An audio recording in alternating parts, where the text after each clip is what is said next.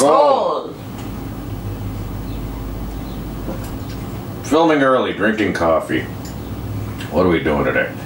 Well, it's raining. It's raining. today, so we're not outside. It hopefully will stop someday soon. We'll see. So we're gonna play inside in our own kitchen. It's also a good opportunity to show you can do all this stuff in your own kitchen, even our tiny postage stamp kitchen. We can do things in. So we're gonna do some recipes inspired by Eat Like a Viking, a guide to Anglo-Saxon and Viking Age food and drink by Craig Brooks. It's a new acquisition to our cooking library. It'll focus somewhere, ready? Maybe. Yes, we, we got these kind of as a lark. Um, I saw them online and, and I'd never seen another Viking Age cookbook, so we wanted to check it out. Uh, they are a handy guide. Yeah. I Good like for ideas. Lots of nice references in there. Good references, not as not as in depth as others, and we liked it so much. What about the second one? Because there's two. Volume 2 Electric There's a Boogaloo. volume two. Also has very nice recipes. Uh, some a little more complex than the first one. Uh, cooler pictures. It's got pictures of helmets and stuff. Today we're making sausages. Sausage. Going to make the sausage. All right. So what do we got? We got Yeah, venison pork. or pork? Pork. Today What we're cooking with pork. Uh, we have pork shoulder and pork belly. Yes, pork butt and pork belly. So Yep. The belly and the butt, the good parts. It's what we had. And we have A lot of a it. lot of it. Brrr. Big bowl. We had to, I had to dig out the big bowl in the basement. So that's about I want to say 12 pound pork butt and five-ish pounds of pork belly. I want to say. We, we didn't measure. I don't know. I could weigh it. There, we don't need to get that in depth. So the pork butt was a little more than a pork loin, and imagine you can do this with a pork loin. I mean, the recipe just said pork. Probably. It just maybe change the fat ratio. Yeah, I don't know. I don't know. I mean, there's fat in pork loin. Yeah. depending how well pork it's trimmed. Yeah. Yeah. So, well, I mean, you're adding your fat. So we use pork belly because I had it from the, the baking experiment, making the bacon. So we had the pork belly. What else could you use for pork fat? I think any fat. If you can get your hands on fat, talk to your butcher. Go to your grocery store. A lot of them still have meat counters. You can go talk to your butcher, see what he's got. Uh, see, a lot of people use uh, lamb or goat tail. There's a lot of fat in the tail. A turkey tail, as you said, mentioned before. Mm-hmm. Said once a turkey tail has a lot of fat, so you just want to add fat to your sausage. And some cuts of pork shoulder have more fat if you get the less expensive party cut. So you take your meat and you chop it up. You chop it, chop it. And we already did this last night. We didn't film that part. We got bored. We got bored and decided to just do it and did not grab the camera. So you want kind of a coarse chop on these. A lot of recipes call for a coarse chop. You can throw them through a meat grinder. If you want to throw them through a meat grinder. Uh, some, if you do, you want a, a coarse blade or a coarse setting on your meat grinder. If you have that on there, hopefully you do. And this is the more period sausages. And I, I don't think we have tons of evidence for Viking sausages. No. A reasonable assumption, I think we're going by. This is one of those. So many people did it. We're just assume they did. I think so. I was just reading about it earlier. We don't really have any evidence, hard evidence, that sausages were a thing, but there's enough circumstances around and so many different cultures made sausages. It's a mm-hmm. reasonable assumption that I think so. Vikings would have made sausage. Also, you can dry and preserve them, so Yeah, it's one of those things. Not only, you know, I always stay away from like, oh, well, if the Romans did it, they did it because they were kind of around, and that's always a dangerous thing. But sausages were known all over Italy, not just you know within the Roman Empire. And well, that's kind of an odd statement, but think about it for a minute. And they went there often, so especially trading with the Byzantines, they would have eaten the food there. They called them the Greeks.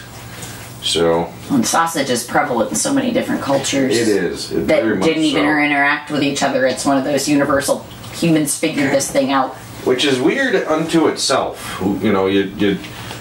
I mean, I guess if you're using the whole pig, right? You gotta do something with the guts. More than You're not likely. just gonna cook them and eat them. You're, you're gonna stuff them, I guess. Why not? Makes sense. Shove the guts into the guts and eat them.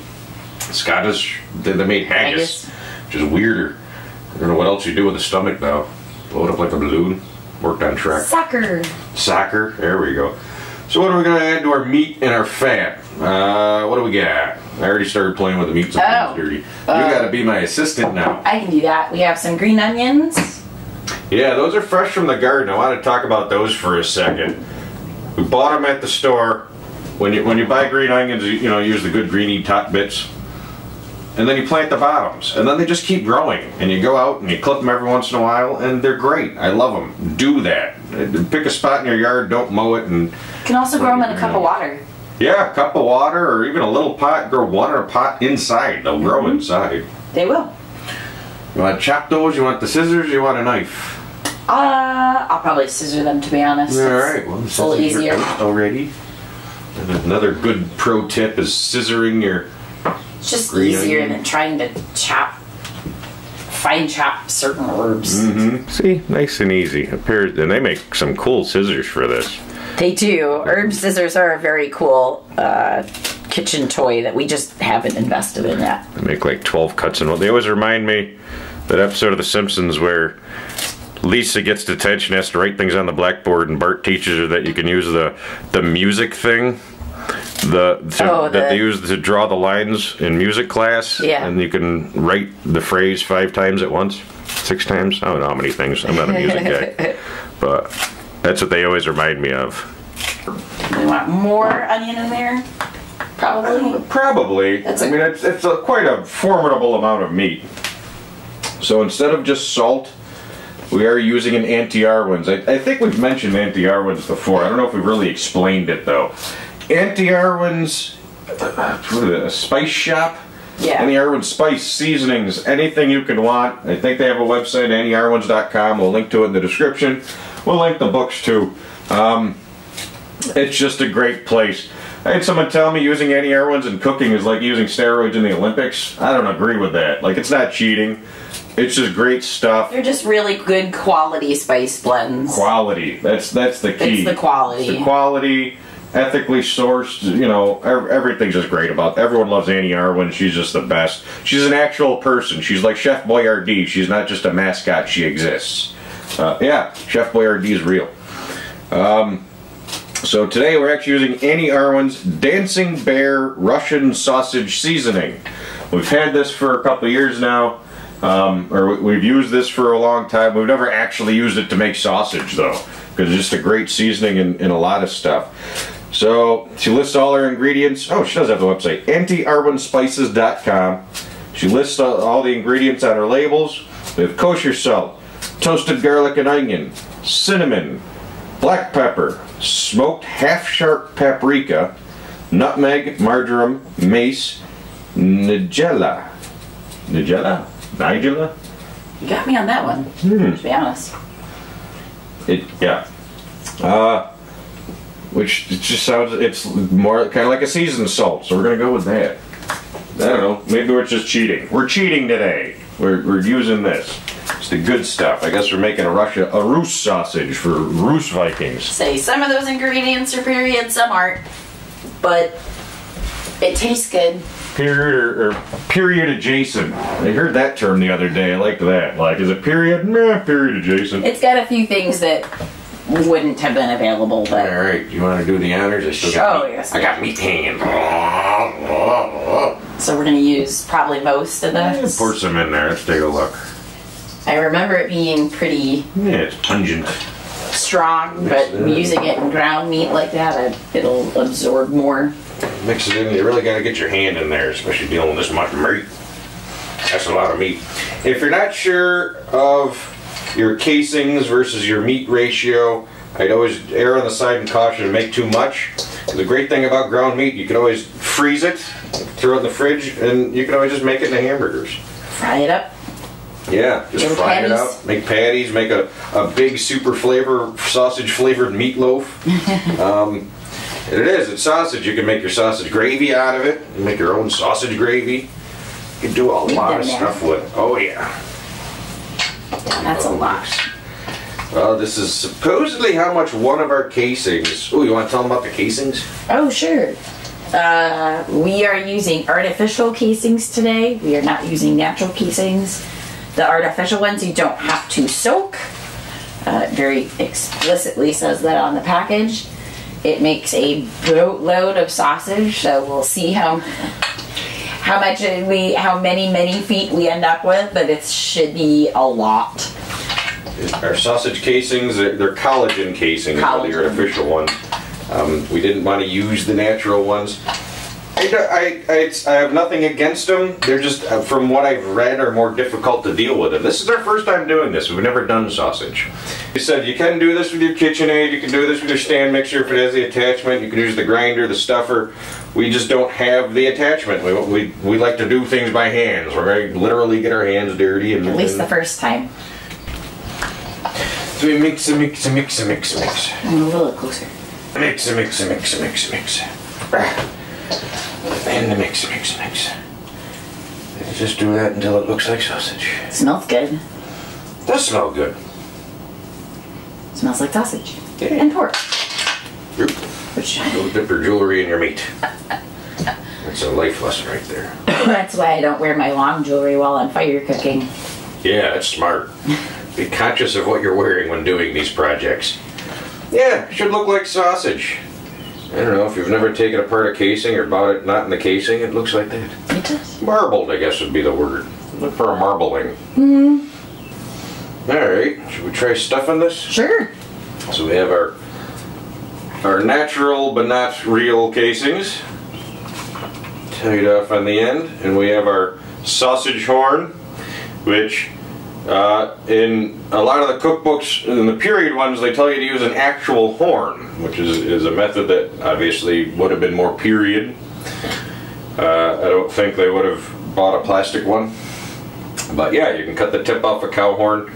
The nice thing about these is, is the way the casings are made and the horns are made now, the, the stuffer things are made, they're made to size each other and fit each other. Yes. Uh, fitting it on a, a regular horn, which is why I didn't attempt that, seemed difficult. I, I haven't done this in 50 million years, so we're gonna see if I can get this to work. Do you want the wooden spoon? We're, we're gonna need that eventually, yeah. Okay. Yeah. When when you do get air pockets, and you will throughout, you're, you're gonna you're gonna prick those with a toothpick or something. Oh, do you want me to do that to? Oh no, it's coming out the bottom. It's coming out. I, I, I'm trying to get the air to come up the horn and out. Instead of being at the end. Like that. Yeah, you don't want to push too hard because then you could rupture the Yeah, you don't want to rupture your casing. Oh, look at that! It's definitely working. The dog is excited about it. He loves sausage.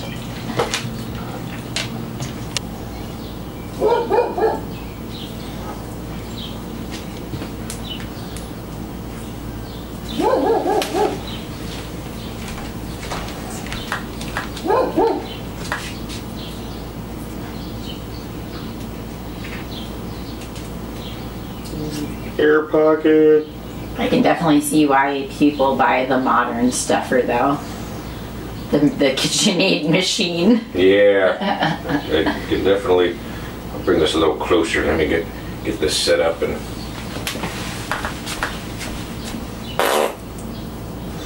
Now I'm trying not to split on the floor, so.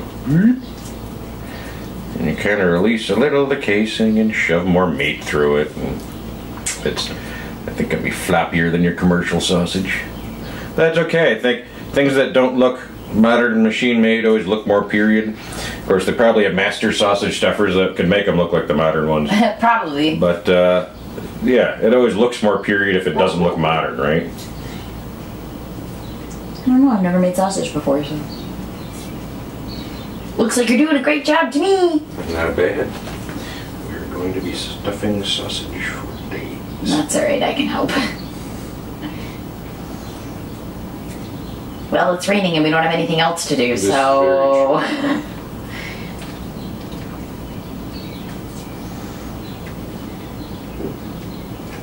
it's starting to look like a thing. Yeah.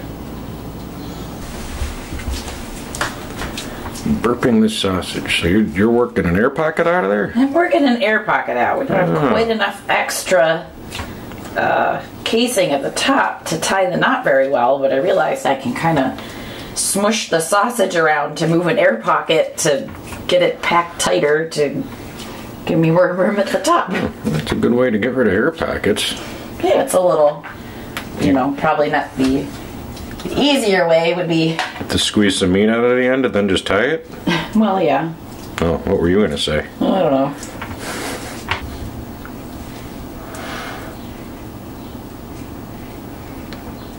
Precision knot tying. There.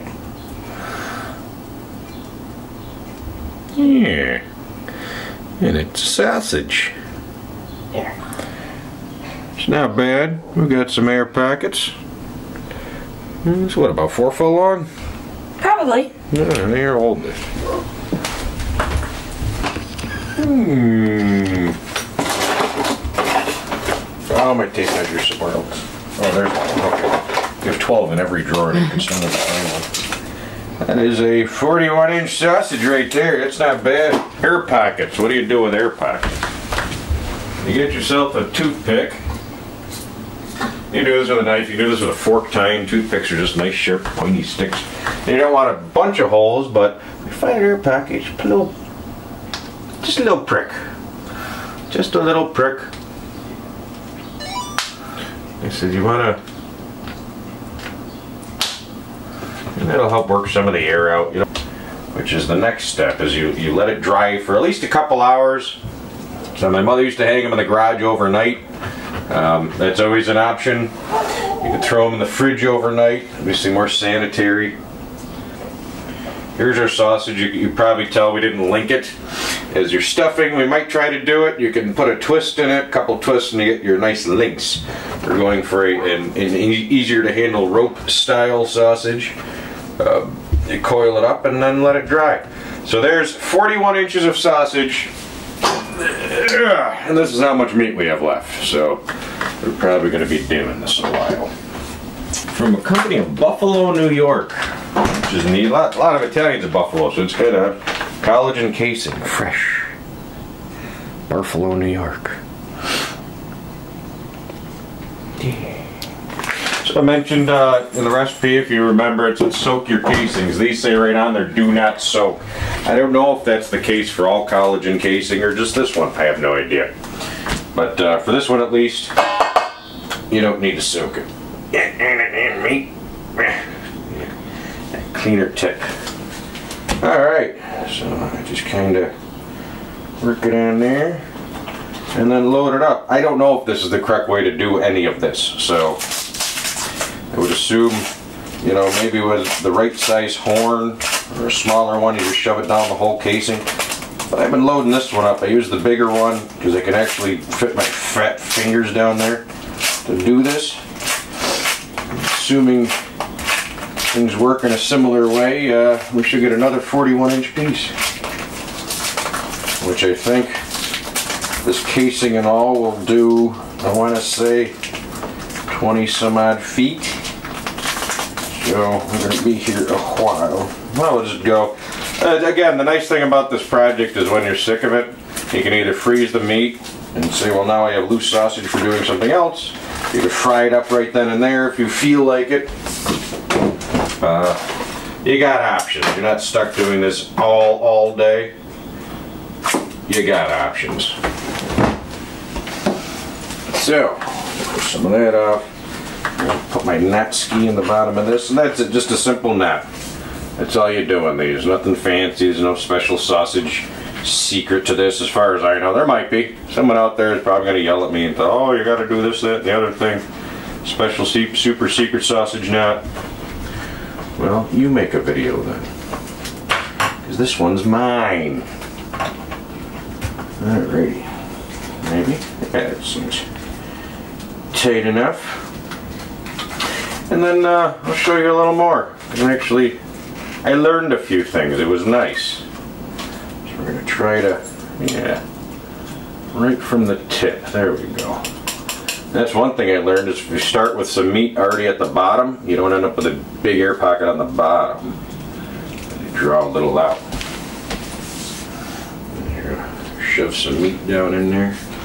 Here's the nice thing, you want to hold it by here. I was holding it up here earlier, too much casing was just popping out.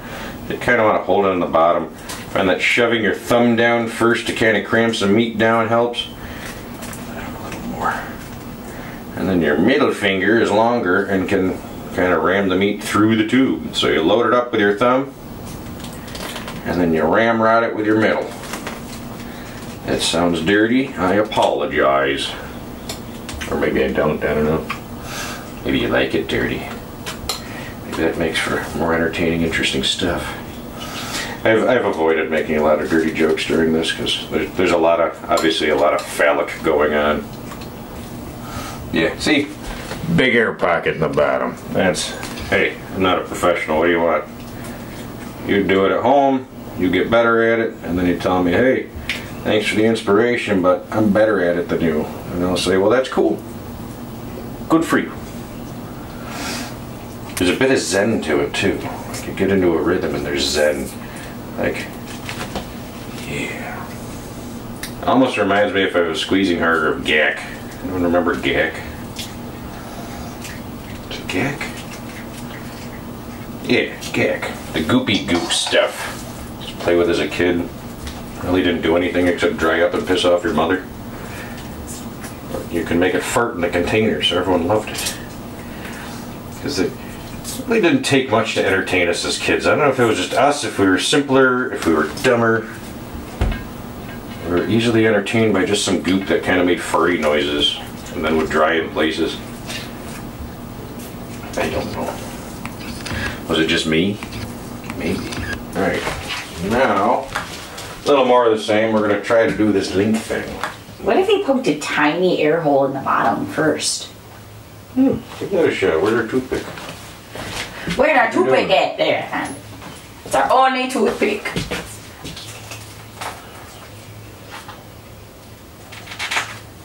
Hopefully it doesn't smush out, That's what I'm but worried but- doesn't like explode. But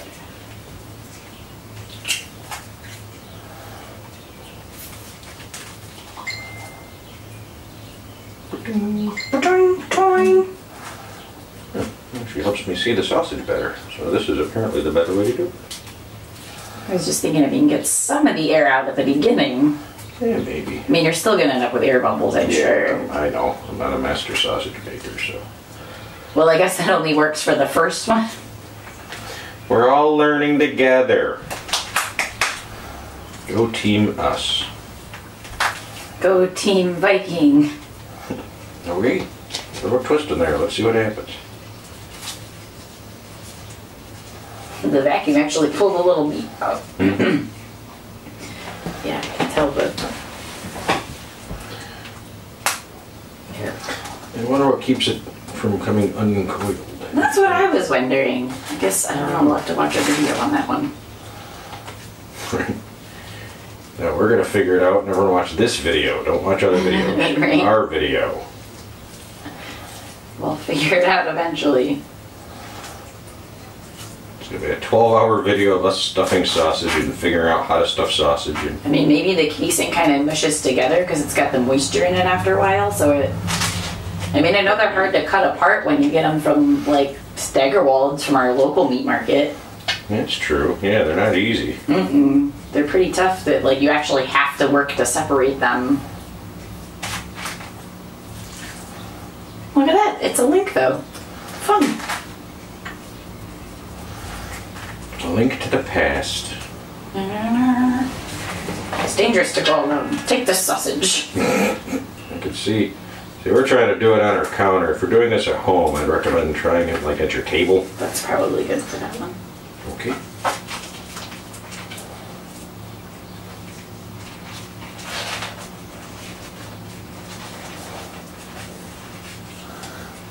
Yeah, you gotta make sure you're turning them all the same way. Yep.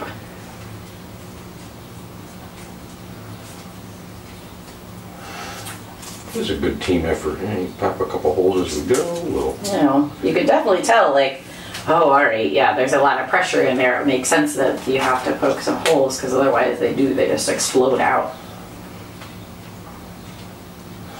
It's good, uh, good team effort. We'll tag team our sausage. It's a learning experience.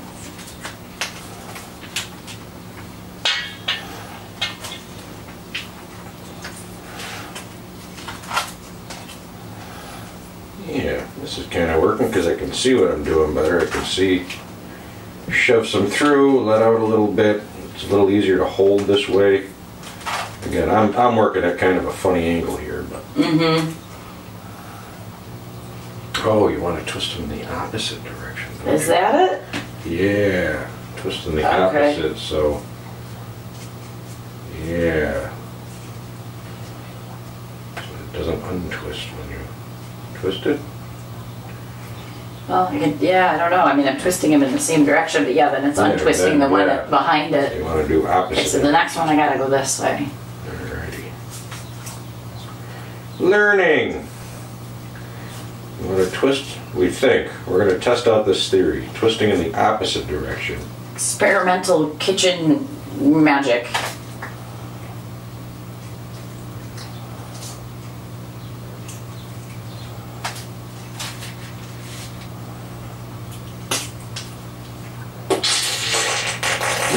Working pretty well. Not bad. Uh, You know, jump the gun here, but Yeah, we may be tag teaming the rest of these and making links. that's okay with me.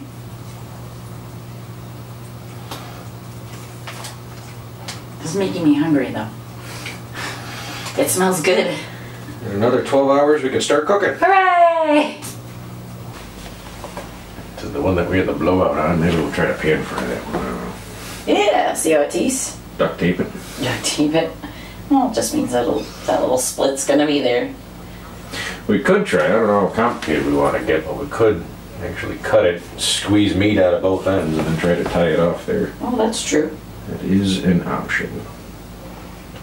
I don't know if everybody wants to continue. Watch me struggle. I just wanted to, I'm gonna edit most of this out. I just wanted to hold up the end result.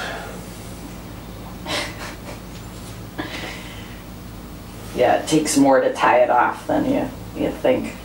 Yeah, I mean, the, the casing is pretty cheap, so um, leave yourself plenty. Don't worry about wasting casing, I guess. I, I gotta, I'm talking to myself, not you guys. I gotta remind myself, like, Well, it's a valid thing to tell people, though. yeah, It is harder to tie than you think. they are hard to tie. Don't worry about wasting an extra There. two inches of casing. Alrighty.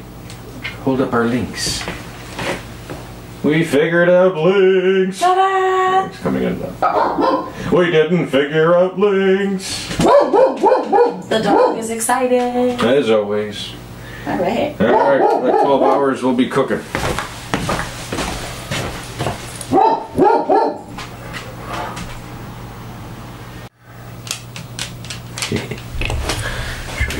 Should be fixing the sausages. I'm trying to fix the couple of sausages that exploded on us. So we have a couple little short ones now that are a little stumpy, but that's okay. But now they'll hold together. They still taste good. Yeah. That's the key. Yeah. Better than it good. falling apart, I guess. There's keeping our them- mountain of sausage. Keeping them tied is kind of fascinating. Definitely sort of a struggle. Uh oh. Ah, One of the tears. Ripped in half. Well, that was kind of the plan, anyways. Yeah. Needed to cut them apart. That is one of our casings. And that's how much meat we have left still. I think we got rid of quite a bit. Yes, quite a bit. I don't know. I'd say more than half. Definitely more than half. This bowl is really full.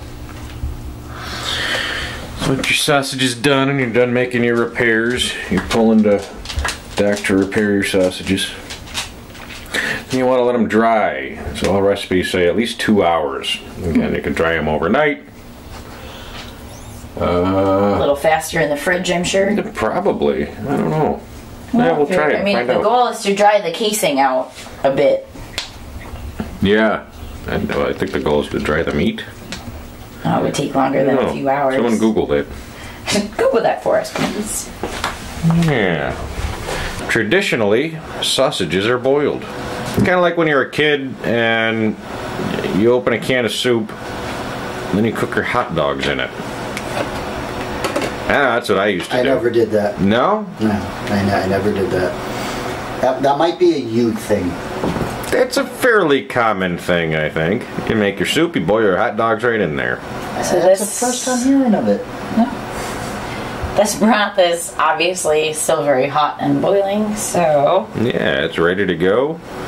I drop our sausages in there. Now the recipe doesn't say; it just says cook in the broth and or liquid. now that I'm putting them in, maybe a little more would have been prudent, but we'll just rotate them around. Yeah. Well, we can always add water still if we I, feel the I need think this will be all right. Uh, They'll still cook. They'll still Yeah. cook. Actually, do, you want, do we want to throw the lid back on? Let them cook in there a bit I with the would, lid on. Yeah. So we selected four random sausages. Oh, two of them split. Oh, Two of them split already. We did not pop enough air bubbles. One of them started out split. yes, Wanted to this one was split. This one was not. So this will be a fun experiment. We'll see how it cooks. It kind of looks like the Skyrim symbol. If instead of a dragon, it was a sausage in the middle. It does. You're right. Yeah. All right. Let's throw the lid on. See what happens. Yeah, we'll give 'em five minute. All right. We'll check back in a bit. Let's take a look. How we doing? All right. How did we do? Not great. wah. So I think the heat was a little too hot. Our casing has essentially dissolved. Um, I think these would be better if I had turned the heat off and just let the hot water cook them slowly because they're not done yet. I can tell they're not done yet. Um, or you They still held their shape though. they did. Good. Or you if you fried them at a low heat. I'm thinking the casing dissolved because the water is so hot. Um, it just completely pulled back.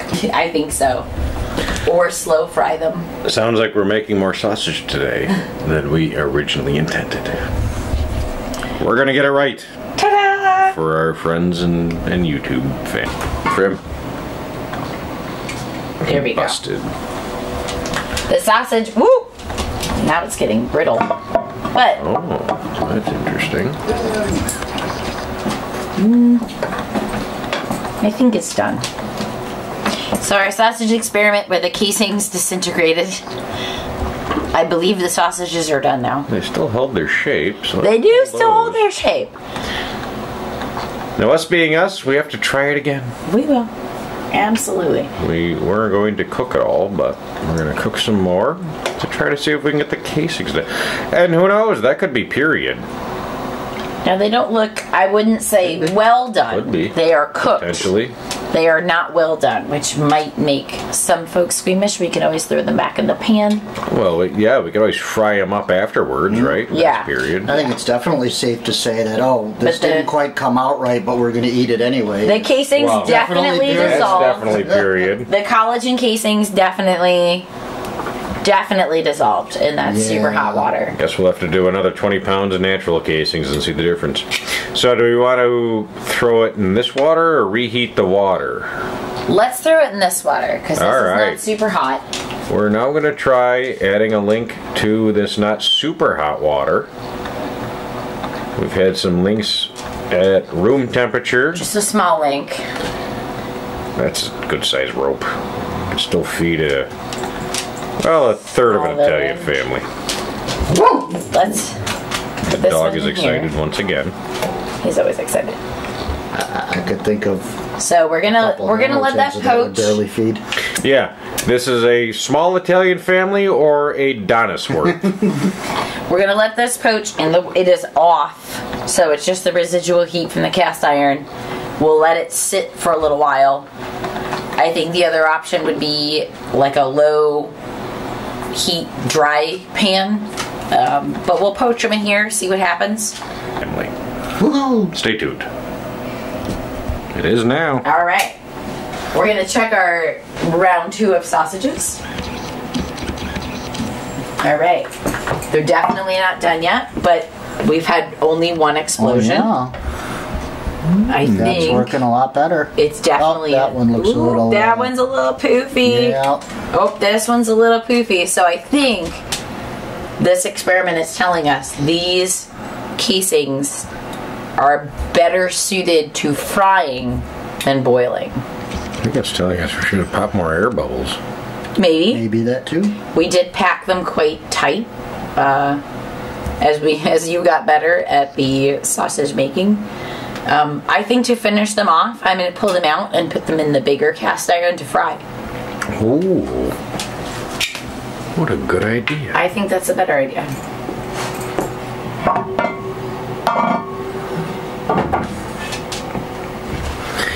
And we're doing all this on our stove. You can use cast iron on the stove. It's going to be a little awkward heat. This pot ends off off, off center because it's so large, but that's all right. Lalioi. I mean, you know, more period bacon grease is, or animal fat is more period, but olive oil is what we have close at mm. hand. I use olive oil for everything. Oh, so do we. For for the cast brownies. iron, I go with the the higher smoke point oils because Yeah. they do heat them so hot. This is yeah, hot water poaching not ideal for this sausage casing.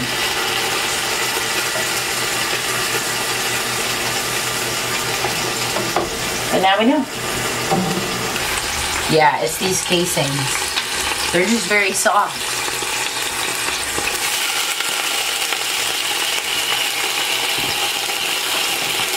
The hand on point, so I knew what to do. Uh, hold the tongs. Well, now I know the case for natural casings. Have to try uh, 30 pounds of that next. Yeah, these are These are frying. They're frying casings. Or smoking. is there enough room in there for the last Oh, one? yeah, yeah, yeah. These would be good in the smoker for sure.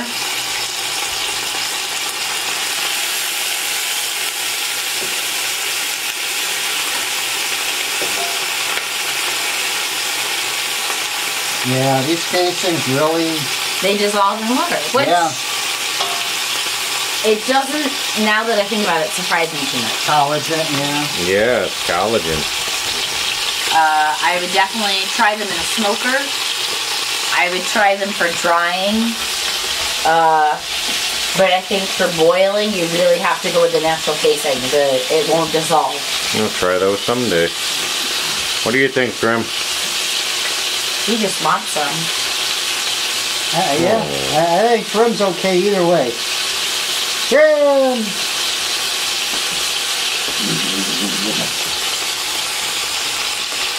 We'll fry these up and get back to you. Yeah, to be. Let's eat something. Let's try some stuff. Sausage experiment. Great Dub dub. Collagen casing. grub. Fry them, smoke them. Don't boil it. Hey, Loki. I'll go first with the fried. So those are the Alright. fried. They're the brown Hot. They just came out. I'm gonna try some of the shank. Okay, I'll go first in a moment with the fried. Would you like a fork? Well, I already dirtied this up, so. Well, I meant so you had both. The goat is is fabulous. I snap a little Oh, piece. burning me. Oh, Mm-hmm. You're like a child. That goat. You know where I am. The goat's delicious. Mm-hmm. Dip it in the berry sauce. I was the cook in the kitchen. I snuck a taste. The goat and the berry sauce also delicious. Goat and berry sauce. Mmm. And that leg has a really good flavor. The fried sausage is good. Yeah. Yeah. Sausages are sausages. Um, Yeah, they taste like They sausage. taste like They're sausages. Got a rough chop on them. They do. rough grind, so They're that's, more that's rustic more sausage. period. Um, yeah, they're good. We'll try smoking a bunch. Probably do. That's what we'll do. So, gotta give some to Ma, and we'll smoke the rest.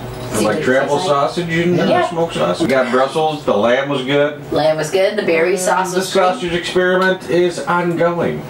And Tasty edible. though, tasty. Yeah, not bad. They taste I taste consider good. it a win. I wouldn't really Well, uh, eat you, Trim. I would. So we'll do some more. Until then, Skål! Das Vidania. das vidania. Hasta lasagna. Don't get any Hasta la on pasta. Tour of Italy.